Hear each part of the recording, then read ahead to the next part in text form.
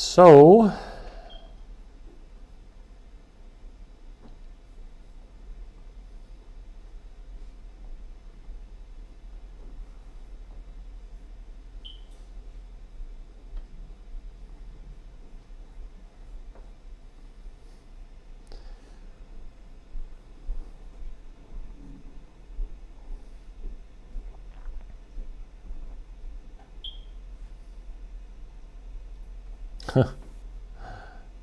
the network is running slow.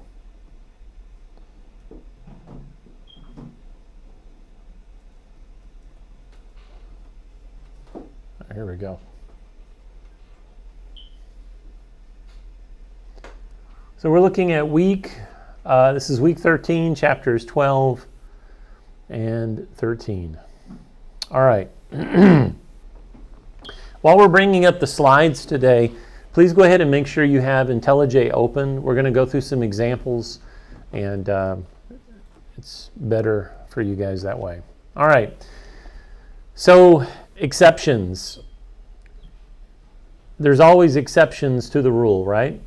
You ever heard that statement before? The idea here with um, exceptions in programming is there, there are some things that you'll do that will actually cause the program, whether it be the user's input or the way you've coded it, will cause the program to uh, throw an error and, and terminate.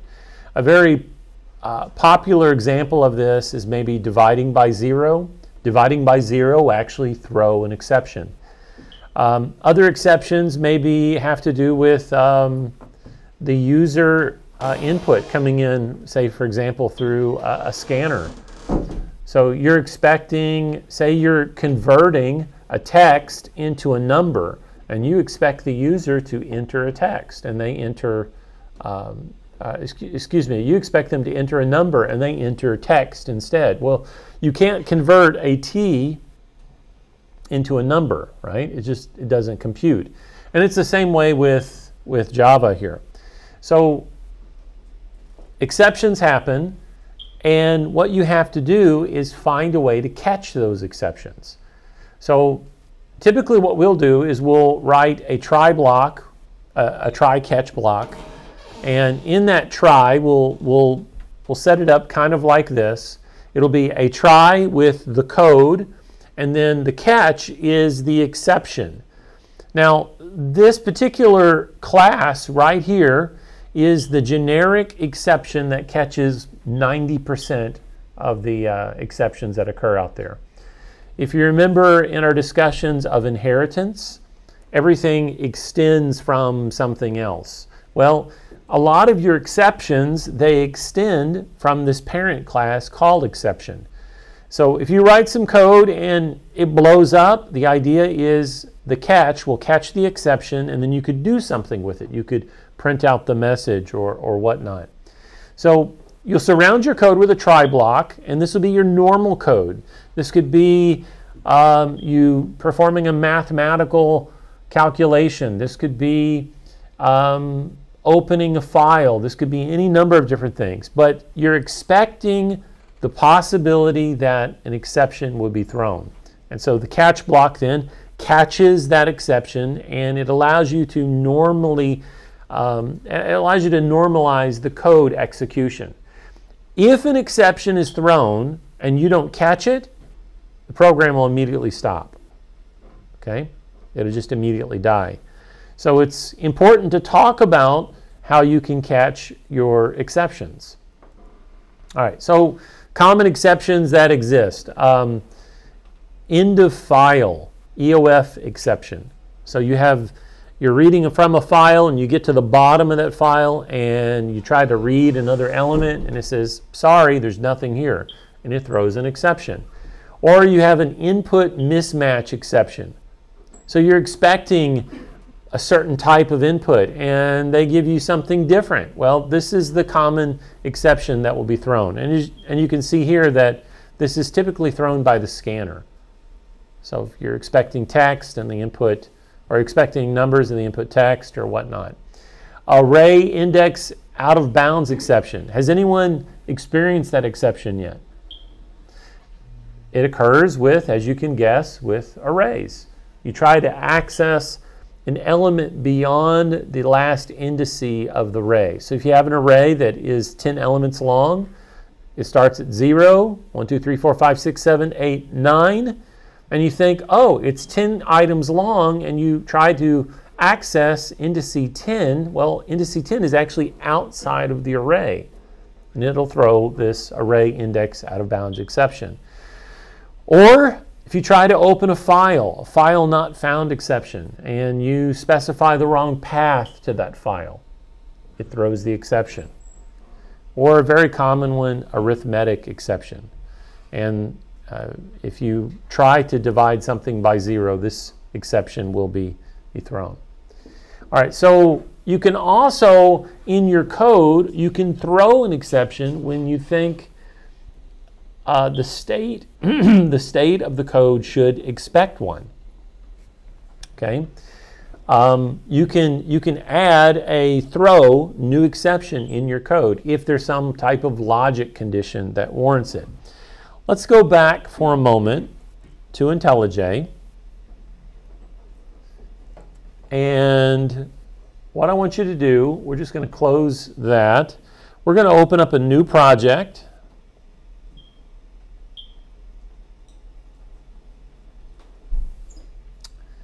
And where'd my mouse go? There it is. We'll call this week 13 examples.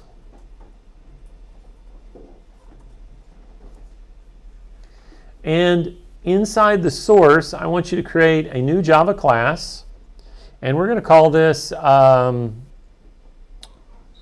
um, my test class. Okay? and we'll do a public static void main method PSVM tab. and what we want to do is simulate an exception. So let's go ahead and use a scanner and we're going to say scanner equals new scanner and it's going to take a system dot in or use a system out print line. Please enter a number between 1, let's see, 0 and 10. We'll do scanner, next int,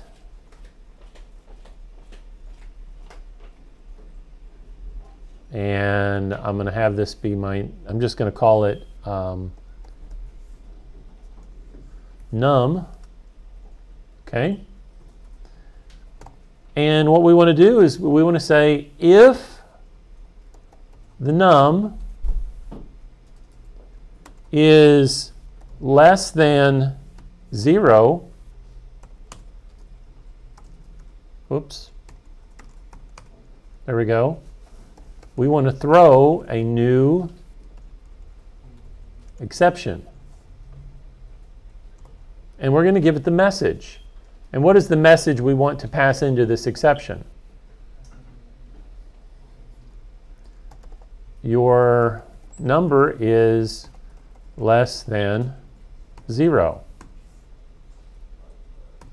Okay? Now, when I do that, what, what happens here?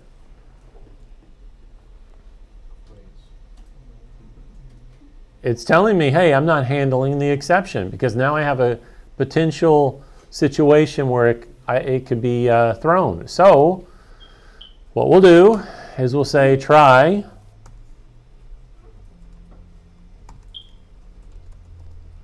catch exception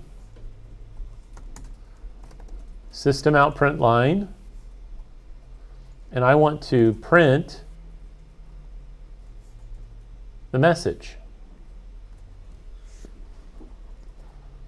Everyone with me so far? Okay? Let's continue with our logic here. else if num is greater than 10, throw new except, exception. My grammar is bad. You number is less than zero. All right, your number is greater than 10. Else, system out print line, that's a great number. All right. Seems kind of silly, right? But what we're demonstrating is the fact that you can actually cause an exception to be thrown if this is the scenario. Well, let's, let's take this logic a little bit further. Let's go ahead and do something like this. Let's do a public static void um,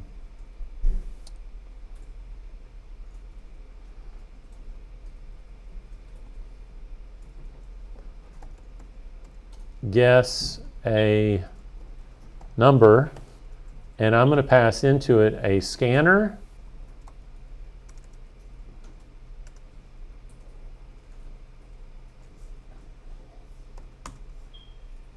and what I want to do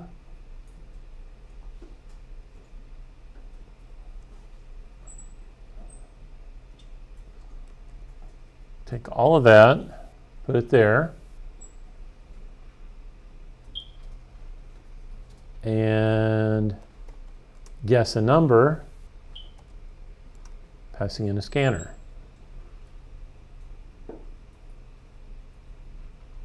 Now,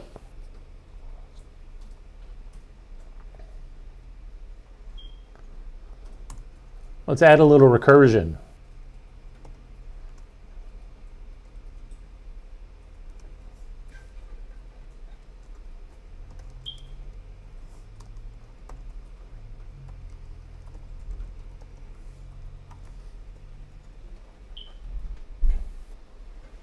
Everyone see what happens?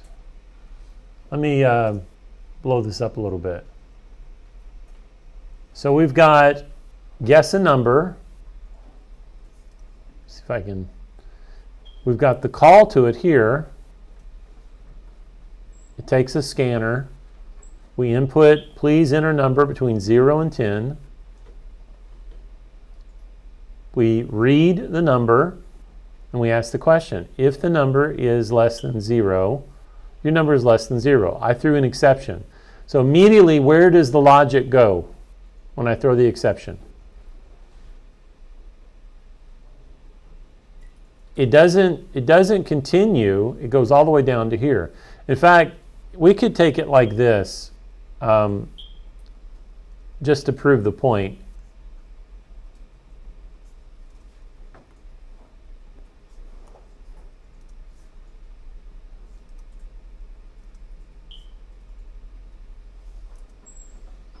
When if it hits this logic block, it's immediately going to come down to the exception.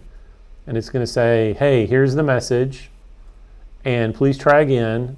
And we call recursively the scanner. The scanner comes back up again. Please enter number between 1 and 10. And it does it again. Right?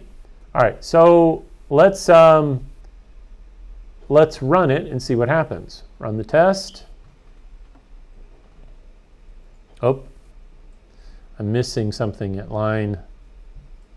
Yeah, forgot a. There we go. So let's. Here we go. Try it again. Please enter a number between 1 and 10. Let's enter a negative 1. Your number is less than 0. Please try again. Please enter a number between 1 and 10. Well, how about, how about a negative 2? Your number is less than zero. And I'm forcing the user now back into the same code without having to write fancy loops, but I'm controlling the user input through exceptions. You guys follow? Okay, so let's see if I enter 11, what happens?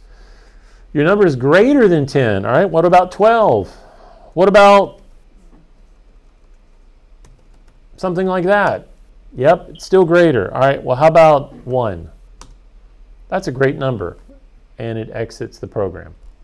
All right, any questions so far on what we did here with the try-catch block? Now you can see in how you write your code then, say for like your project, if you're trying to control the input, you can control the input and force your user to, to go back and do it again, right? To save the information, okay? Let's go back to our slides real quick. Any questions before we go on? Anybody? Anything that you don't understand? Gavin, you're, you're raising your hand. Do you have a question? Okay, let me go back. All right, it was more like, uh, can we have multiple, like, types of exceptions? Just, or, Yeah. oh, it, like, we have multiple exceptions in one try block?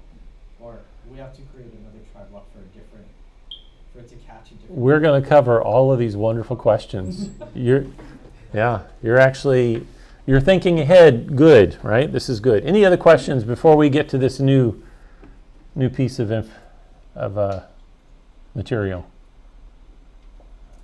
Okay, let's let's go back to the slides. So we have throwing our exceptions, right? Where program can throw any number of exceptions, and you can also throw user-defined exceptions. Now, I'm going to let you know, you do not have a PA or a CA on user-defined exceptions. Uh, they just added this to the uh, Zybooks material, but you can create your own exception. And I'll cover this today, and we'll, we'll talk about it, okay? Um, but you could have someone enter a date, and you could pass in the, the, the message inside the exception, invalid date, right? and it'll generate that, that information. All right, everyone understands what's happening here. exception is thrown, it immediately throws you down into the catch block. Skips over the rest of the code, doesn't, doesn't even execute it. So if you try, um, if you try to uh, put code after this, like num equals num plus 1, plus 1. You see what's happening? It's, it's saying you can't do this because it's never going to get to that piece of code. As soon as the exception, as soon as this is, is thrown, it's going to jump to the, the exception at the bottom. Okay? All right.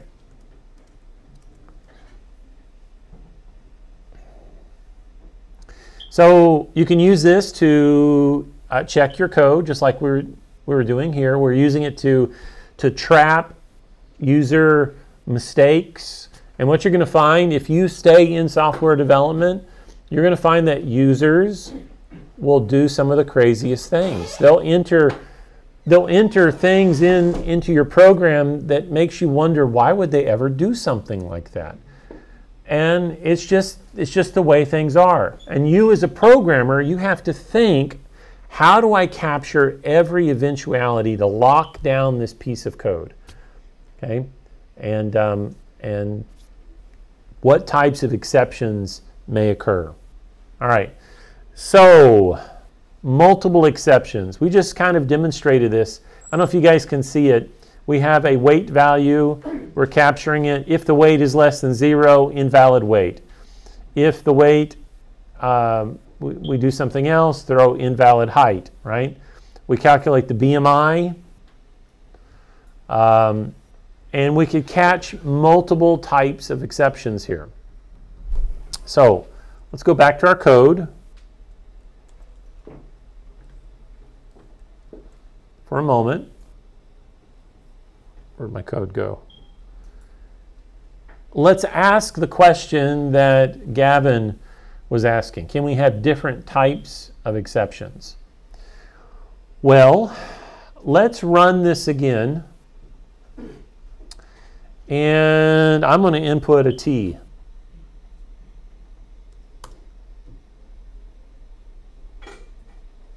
Prime example, people entering bogus information into your program and you it's like no t is not a number right?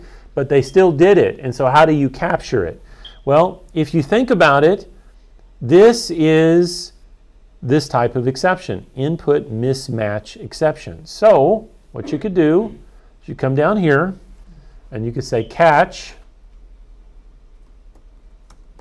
input mismatch exception and I'm going to do IEX for my variable name. And I'm going to say system out uh, print line IEX get message. And I really don't need to do that because it's going to be something bogus anyways. But we're going to say um, system out print line, you entered something that is not a number. And I'm going to call my guess number again, pass in the scanner. All right.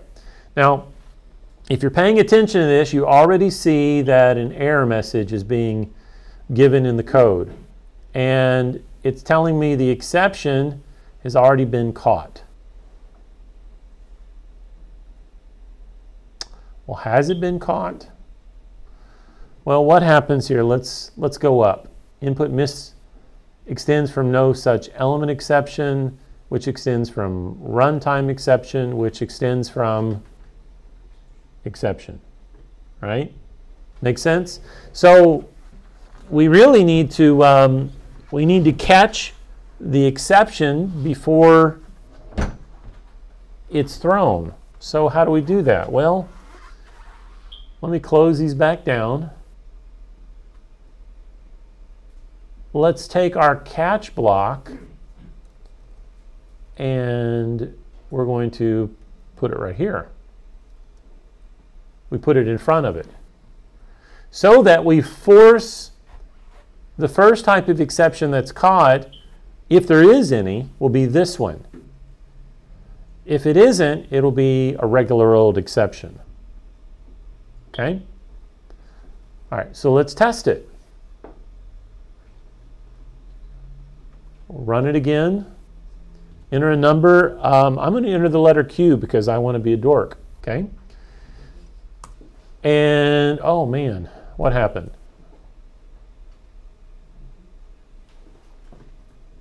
Let's see.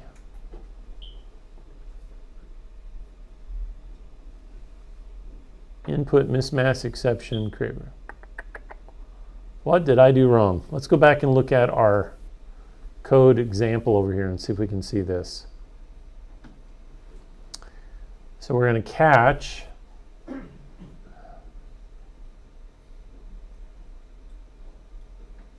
yeah.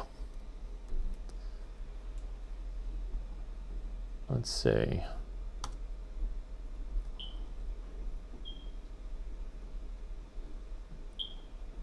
All right. Make sure I'm paying attention to this. If weight is less than that, if that is that, that. Yeah. So right here, this is where you're catching the exception. If the input doesn't match an int, it's going to automatically come down here to the input mismatch. So let's go back, try this again. run it, enter Q. Oh, what are we doing wrong here?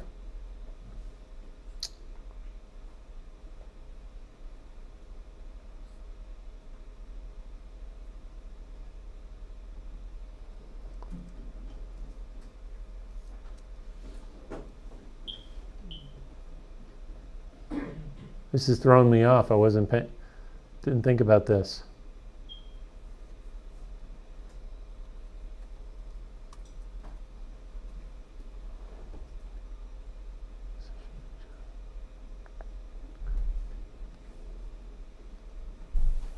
Eleven. Next int.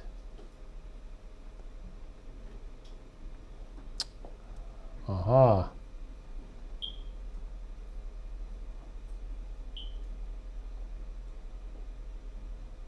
Oh.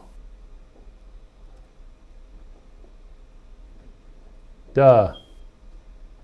All right, y'all see what I did wrong?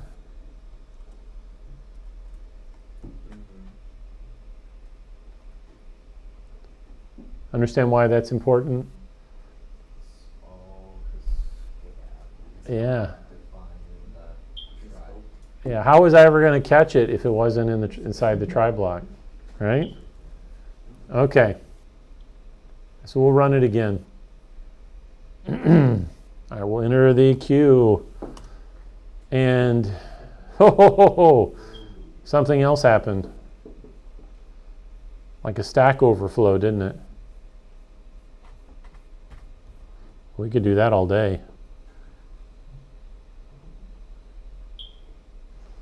You entered something that's not a number. Please enter a number between 1 and 0. So, oh, yeah. So you have to clear the, um, uh, what is the code there? If we look at their example,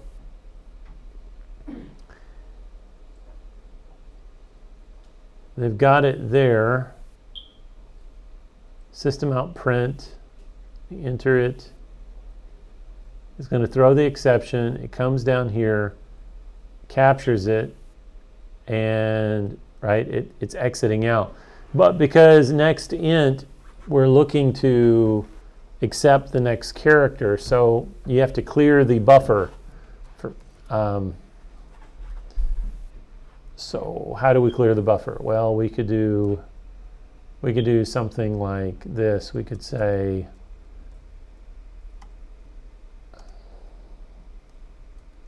scanner uh, next or next line.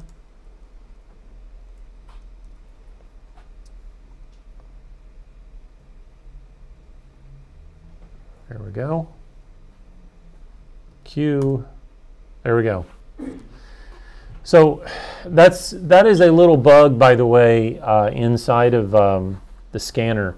When you you ask for something that doesn't have a new line break, and you're caught inside of an exception, it's going to it's going to automatically read again the rest of that line.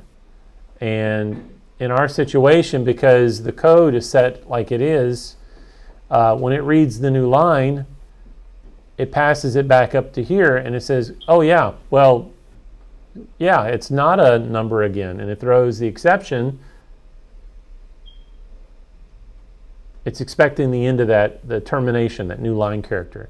So by the fact that we use a scanner next line to clear the scanner's buffer, now we're able to ask the question again. You guys understand? Some of you are like, not really, but I'll take your word for it, right? Just remember it will do that. So here we're going to do less than 1, we'll do 10, and it exits out. All right, any questions so far? All right, we're getting to a point here, though, with this code where it might make sense to have custom exceptions that align to the type of problem that you're expecting. So you could create a user-defined exception class that's called um, number greater than defined exception. Or you could create another one, number less than defined exception, right? And the benefit of those is you can actually control the exact exception information that you're catching. Okay, let's go back to our slides one more time. All right, so we already worked through that previous example. This is basically calculating BMI and you got multiple input exceptions. So you can also open accept, handle exceptions from, uh, from invalid files, so like a file input stream. And we kind of demonstrated that back about, what, three weeks ago, right?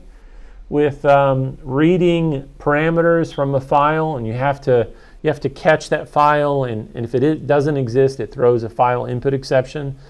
Um, these are automatically thrown if the path, the string that you give it, doesn't actually go to the file. If the file doesn't exist, that path doesn't exist, it will throw that exception automatically. Okay. All right, so here we have exceptions with files. We have a file input stream. This is the path that we're specifying. Then we're saying here's our file scanner, which is basically just a scanner. It's taking the file input stream that we specified here and if the file doesn't exist, it's going to throw this file input exception. And what we want to do is, is if no matter what happens, we want to check and make sure that we close the exception. And we do that by supplying this finally. So in the finally block, we would go ahead and ask the question, hey, file scanner, if you're not null, I'm going to go ahead and close you down. Okay? And that's what you would do here. Okay? All right. So you have uh, another example of doing this is called a try with resources. Okay? A try with resources. Let me give you uh, a quick code example. I'm just going to pull it up off the internet.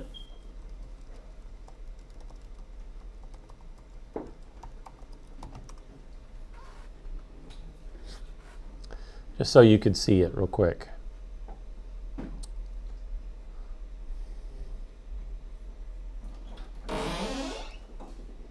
Okay, so with a try with resources, this is uh, from a very popular site I sometimes use called uh, Baeldung. And the try with resources is basically like this. You say try, and inside of the parenthesis, you specify the the thing that you're trying to do. And it automatically will close that resource once it's done. Okay? That's a try with resources. You can, this is basically replacing the try catch finally with one statement. Okay? So if we were looking at our code example, um, if this was a file, we would basically just have try. Let, let me go back to the slide here so you could see it. So with the slide uh, here, we would just move this whole parenthesis, we'd move the whole thing up here inside a parenthesis and have the declaration of the value, everything right there in the, the same block. Okay, any questions so far? All right. And the finally block. Okay, so specifying exceptions thrown by a method. Let's go back to our, our example again.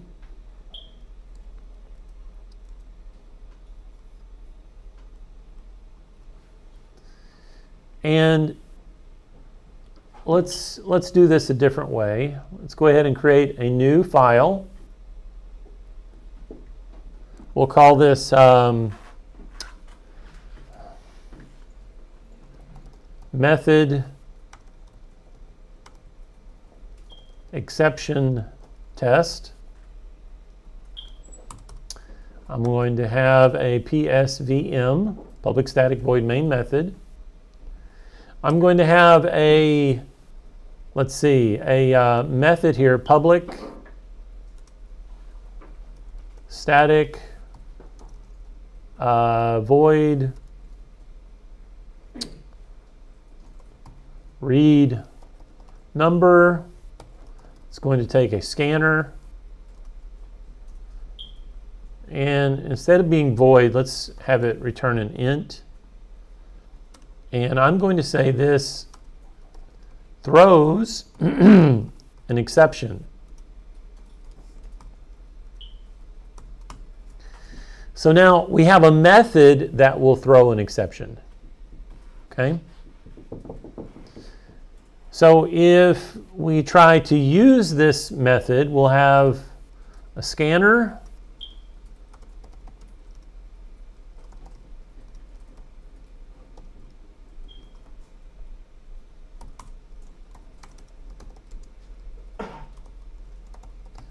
Please enter a number. And we're going to read that number.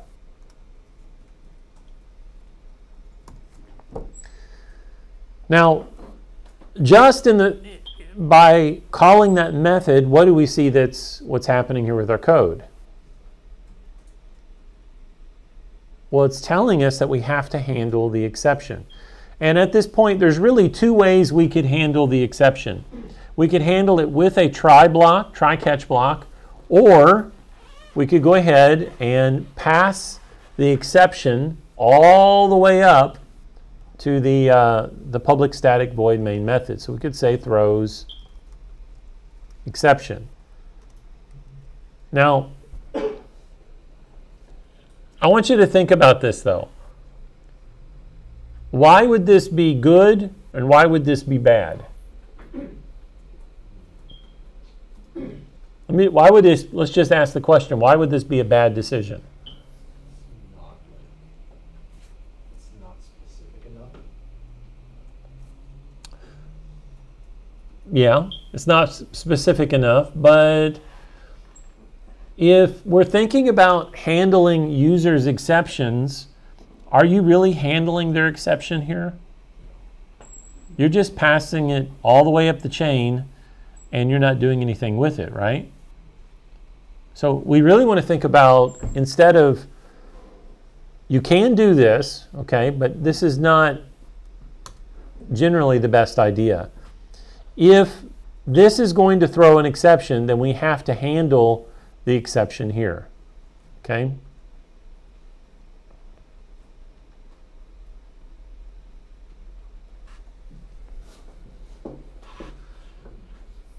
Make sense?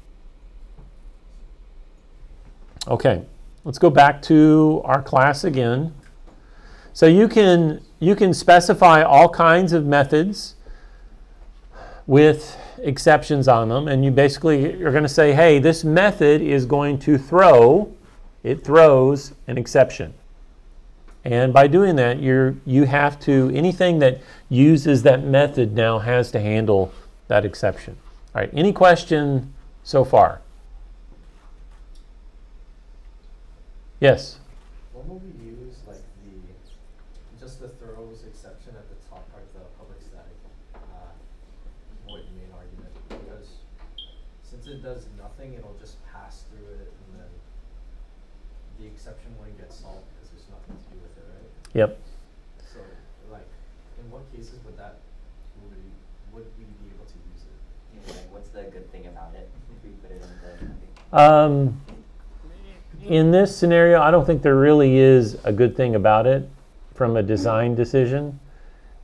If you're writing code and you know that the scope of your program ends with the public static void main method, putting a throws exception on that, I think, is a bad decision because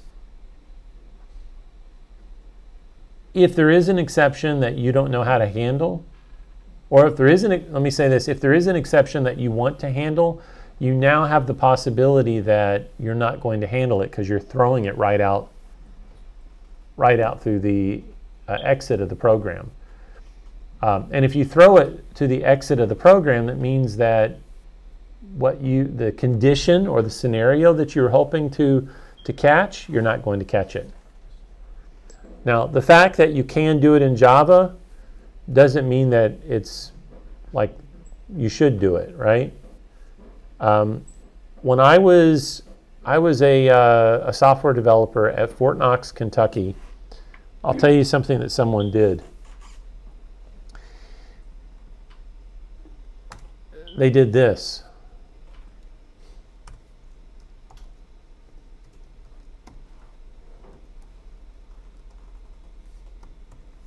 So just like exit with the negative one output. It's like, Well, what system.exit does is it terminates the program. Okay, so um, we would create these things called WAR files. And a WAR file is an acronym that stands for Web Application Archive. Okay, and these web application archives are basically uh, the technology that uses to encapsulate the file is the it's the same as WinZip. You guys have used WinZip before, right? All right, so you you group a bunch of files together, you zip them all up, and you call it a WAR file. We would deploy these onto a special application server called Tomcat. And Tomcat would take the WAR file, unzip it, and load it into these different directories. And when you would hit the web application, um, it would load and do all this stuff, right? It would give you it would give you web pages. It would generate HTML back to the user. Well, he this young developer he didn't know how to handle a particular scenario, and so he just he put into the program. First of all, he put into the program no log or no system out print line. So it hit the exception and you swallowed it. You didn't know what was going wrong. And then second of all, he put a system.exit. And what the system.exit did is it caused the entire Tomcat server to shut down. So every time they'd be working through the web application, the entire web the entire web server would just shut down. Right? Because you can do it doesn't mean you should do it, right? But Java is very flexible. It's a very flexible language. You can do all kinds of cool things with it, right? Um, in general, never, never do just that, because now you've erased what the exception is, and you know a problem could be going. Your program could still be running, and maybe maybe this block is is actually writing information to a database. Maybe it's writing it to a file. But as soon as it hits the exception, it just skips it and moves on. And you're like, well, you're looking through your logs, you're looking through everything. You can't see any evidence why um, it didn't work because because of something like this. This is just bad practice. Never. This is called swallowing an exception. You never want to swallow it. You always want to do something with it. Either throw it again or print it to the logs so that it's there's evidence of that something happened and you want to be detailed with what happened. Okay? All right. Any any questions? Is everything I said makes sense so far? Okay. All right. Let's go back. So you can specify uh, different exceptions and you can throw all kinds of exceptions, right? So here we're specifying exceptions thrown by an exception. So here is, we're getting the area, we've got a scanner. Uh, we set a value for a circle area. We're printing, we're telling them, hey, give me, enter the area. We get the double, we assign it. We say if it's less than zero, throw a new exception, which you see it's, it's available to bubble that exception up back to the whatever the caller is. Because it hits the exception though, it never gets down to here to calculating the uh, returning the value. Okay. All right. Now this gets to something that is actually a uh, important topic for you guys to know because there's two types of exceptions. There are checked exceptions and there are unchecked exceptions. So checked exceptions are things that you anticipate that you should be able to handle. For example, you say, hey, this throws an exception. That's a checked exception. Um, a file not found exception. If you can't find the file, it throws the exception. These are checks, right? Uh, back here in this code base, we were looking at in my test, these are checked exceptions because we are checking for criteria to happen, right? What happens here would be more of an unchecked exception. We're not expecting it to happen, but it could happen. Okay? All right, so checked and unchecked exceptions. Checked exceptions can be caused by hardware. Excuse me, unchecked exceptions could be caused by hardware. Like, for example, you run out of memory. It's out of your control, right? Um, it could be things that you don't anticipate. It could be someone passing a null pointer to you. Do you guys know what null pointers are yet? Yeah. You guys need to experience the pain of a null pointer exception. Um, null pointer is basically I have an object, and usually what do I do with that object? I instantiate it, right? Look back at this code here. I have an object that I set up here, and I instantiate it with this right here right? What happens if I do this? Scanner equals null.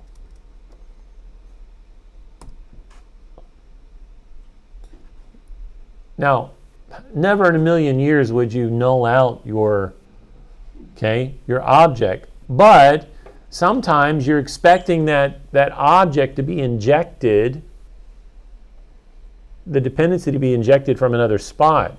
And so you might declare your variable up front and say it's null and expect it later to be populated.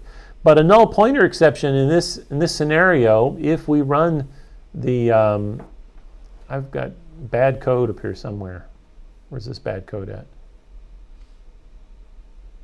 Oh. Return.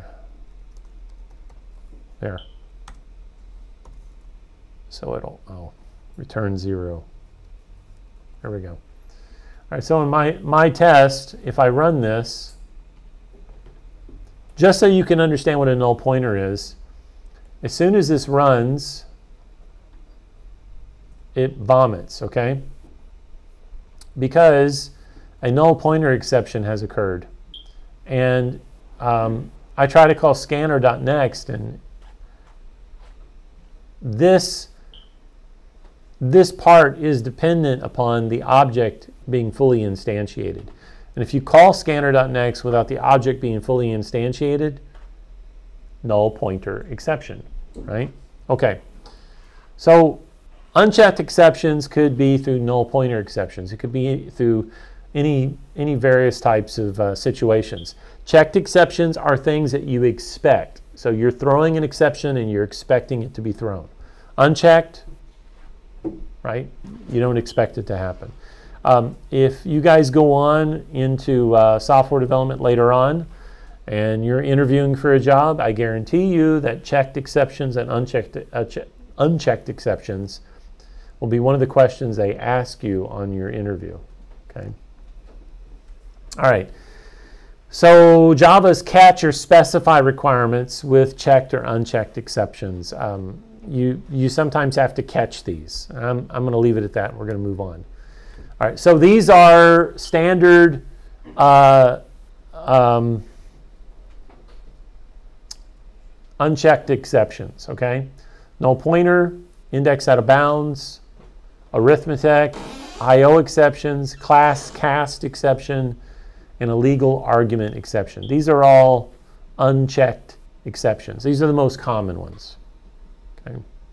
And you can look at the names of these and really kind of figure out what the exception is all about. For example, arithmet, arithmetic, arithmetic, there we go, blah, blah, blah, arithmetic exception, you, you kind of understand how that's going to occur. It's going to be through some type of math problem that blows up in your face, right? All right. So limitations, uh, a catch block that catches the exception type can catch exceptions of any type. And we just kind of demonstrated that earlier, right? When we looked at the input mismatch exception. We had to move the input mismatch exception from below to up top because it's first in, first out. So it hits the first one. If it matches it, if it's in the same hierarchy as far as uh, its parent is of that type, it will go into it. And this really gets to the point of defining user-defined exception types. Okay, so here we have an exception called nan exception. This is not nan as in your babe, okay? This is nan is it as in not a number. All right? Not a number. Um, and so we would say not a number extends from exception, and we would throw that exception. All right, let's go back to our code again. And let's, um, let's create an exception. Let's create an exception called um, negative number exception. Now, by the rule of thumb is, is that if you're going to create a custom exception class, it should have the name exception in the class name. Okay? Again, this is one of those things that you, you can create the class without the exception being in it, but you really should specify in the name that this is an exception. Okay? And I'm going to have this extend from I'm going to go to runtime exception. And if we go to runtime exception, you can see that runtime extends from exception. Okay? So I've got this exception class, and I need to generate a constructor. I'm going to let IntelliJ do this for me. And I'm going to um,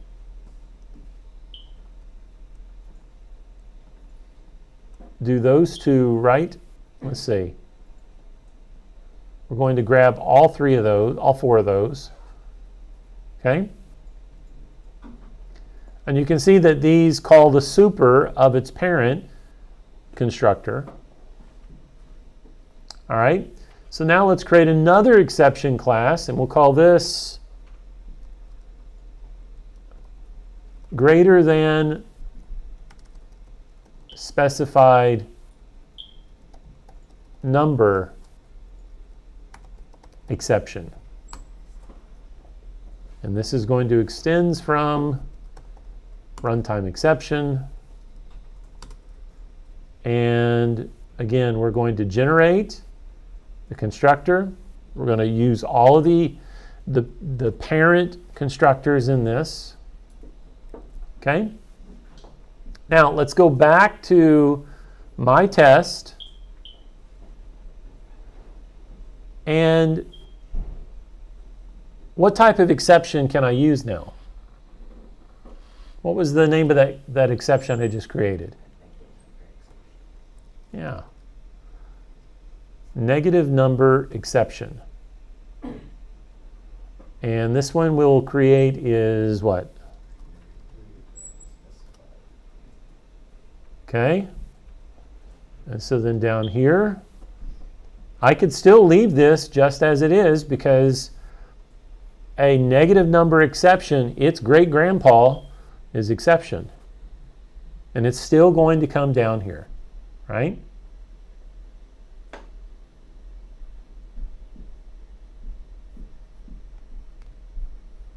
Let's go into our negative number exception and let's do this.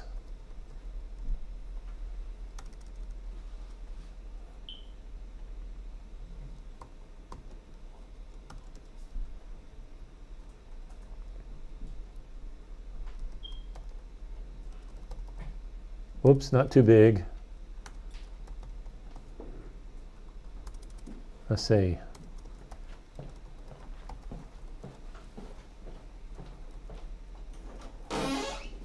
And up here,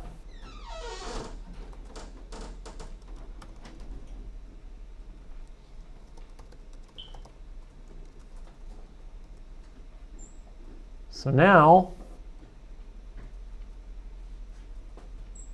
What do you guys think is going to happen?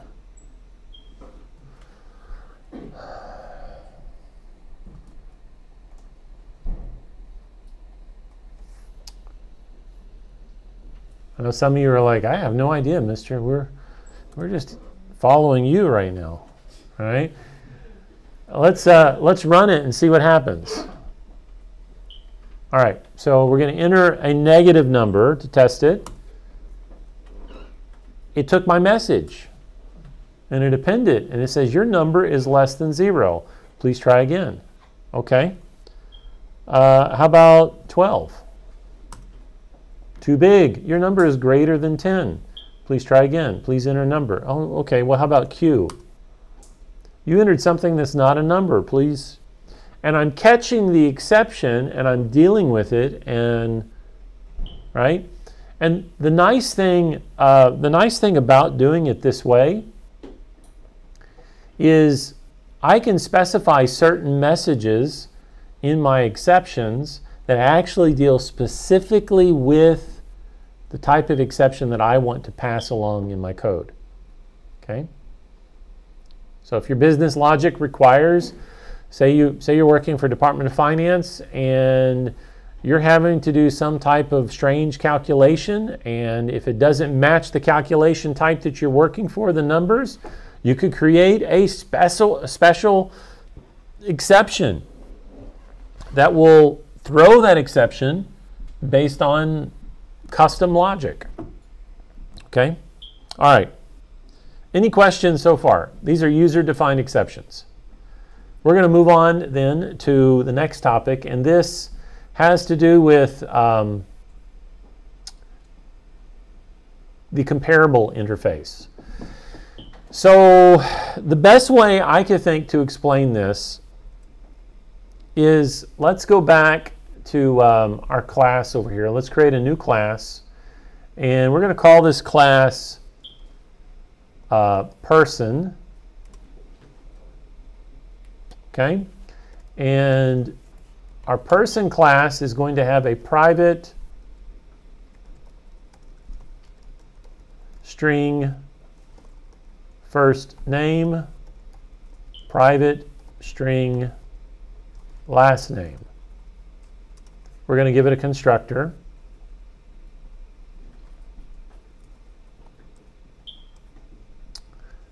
And let's go ahead and make this private uh, final, private final since we have this. And let's go ahead and create a getter. Okay. Now we have this class. It's a very simple class that just has first name and last name, right?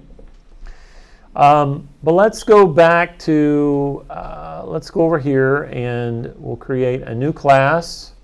And this will be my person array list test. Okay, public static void main method. Um, I'm going to create a new array list. And, and what we're going to do actually is use list, the interface item. Okay, and I'm going to specify this list takes a person. And we're going to call this our persons equals new array list. And let's populate some persons. Okay, um, first name again. Irvin. Irvin. And last name? Um. V I L L A R I N. V I L L A R I N. I N. Okay. Let's see. Francisco, right? Yeah. Okay. New person.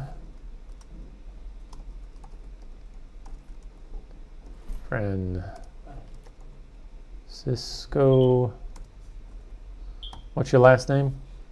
Ermitanio. E R M I T A N I O.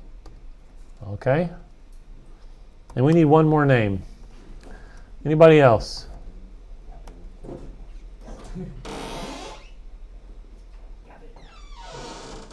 Gavin? Oh, okay.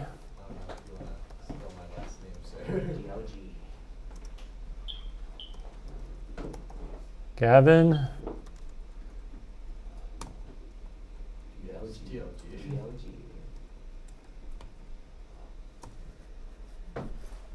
All right. So we have these names. Um, we could just do a simple for, and we're going to do person, P. This is going to be persons. We'll print it out, right? P. Uh, let's make this simpler for ourselves. Let's go down here and in our person class, we're going to create a toString method. There we go. That way I don't have to keep typing out a bunch of code. All right.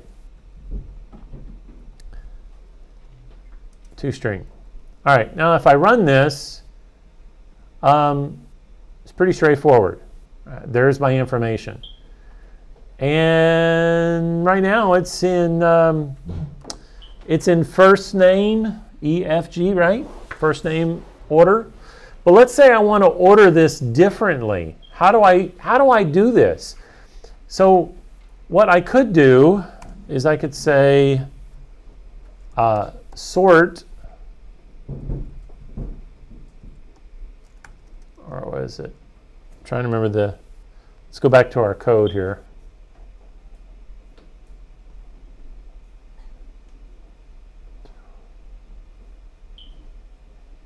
Ah, there it is.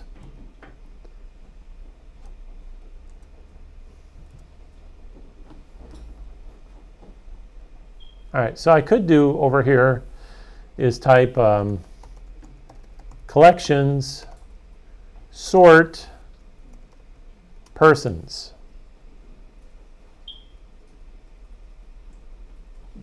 What's it complaining about?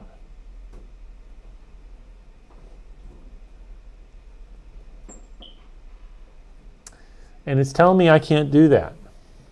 Now, does anyone know why?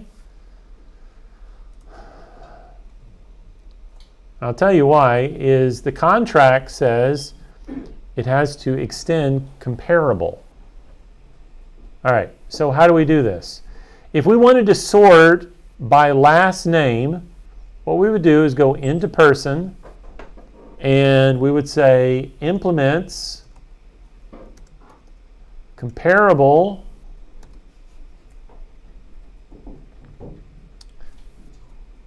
and I think it's like that, right? Okay, yeah, that's right. So now we have to implement the method, and the method is this, compare to. So we're going to say, okay, and you may have, may have been confused there because we had to type person, which was already listed here. But comparable is the interface. And the interface, it takes a type of T, and this is what we call generics. And so it could take any type that you want, but that type has to be uh, has to be the reference to it. And the method that it overrides is compare to. By the definition, compare to returns a number. And that number, if you look at the documentation here, it must ensure that the relationship is greater than zero in order for this to work. So it's one or zero, right? So when we look at the person class then, we have to do this, uh, this compare to logic. Let me go back to our code. Let's see.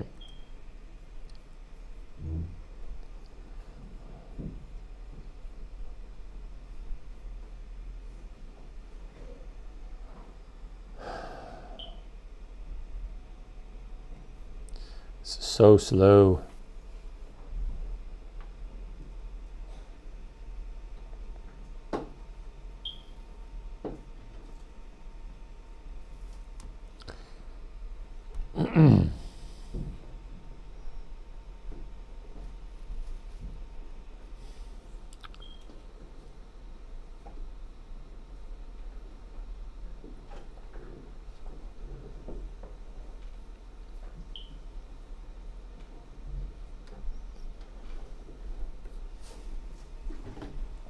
Okay.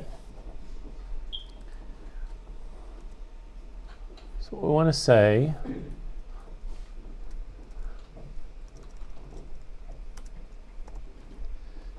if O last name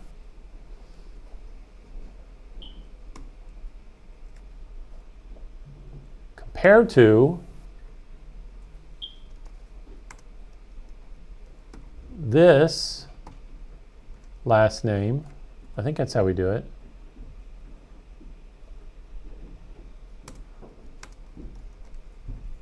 Yeah.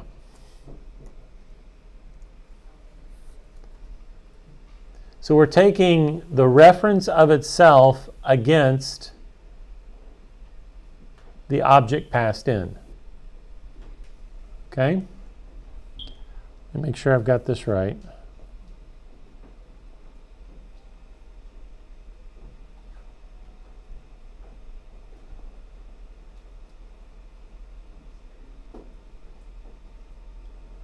I believe I got it right. So now we have compared to defined. Let's go back to our test and we see it works. And what we're comparing is the last name now. And so we want this to be sorted appropriately. Boy, I hope this works because nothing worse than the teacher being wrong. All right, so we're gonna we're gonna sort it, sort the items, and this list should now come out to be like D E V, right? That's what we're expecting. So let's let's print it and make sure it, see what happens.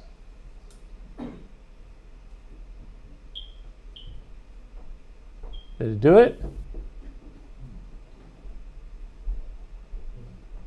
Not really, did it? All right. Bear with me one moment. Let's see here.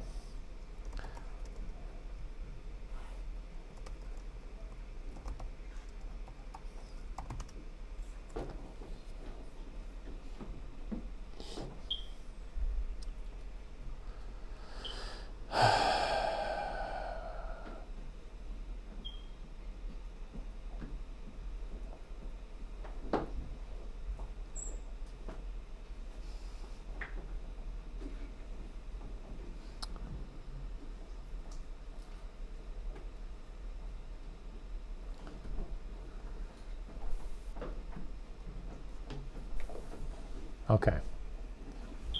Where's my class at? Let me do this again. So we got this last name compared to O last name. Turn. Is that right?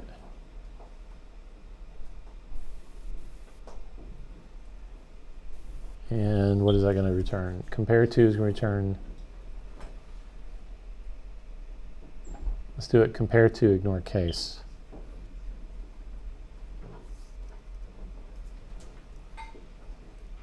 All right. Run this again. There you go. DLG. It sorted it. You guys all see that? Okay, so this allows you to, um, um, the comparable allows you to do some automatic sorting sorting with your with your objects. All right, there's a couple other things we need to touch base on real quick here, and then we're gonna call it quits for the day. Uh, these are generic methods. So imagine you have a method called triple min int. It takes an integer item one, item two, and item three. Then you have something that says the same thing, but this time it's characters. And typic and really honestly, you could do this with longs and so on and so forth. So the idea is, is you can create a generic.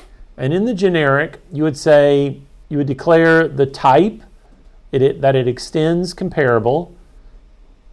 Very long syntax here, okay? and then you're passing in this type on the fly. And as long as these types all extend from uh, comparable, you can actually then pass in these generic, uh, generic objects.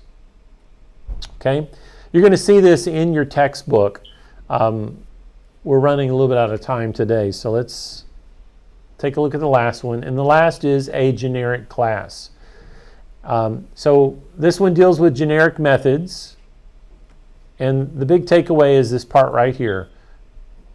You have a generic method set up that can actually handle uh, integers or, or characters. And the last one is with a generic class. All right, let's take a look back at our code one more time. When we look at the person class, we see the example of the generics being defined right here. Okay? So if you look at comparable, comparable takes a type. And it says, okay, use that, that type to pass in whatever. So I've got my interface. I have one abstract method. That means that for my person class, when I implement this class, I have to also implement that abstract method compared to. Okay. You guys okay? Ezra, Gavin? You having a good time back there? Okay. All right. Guys, any questions?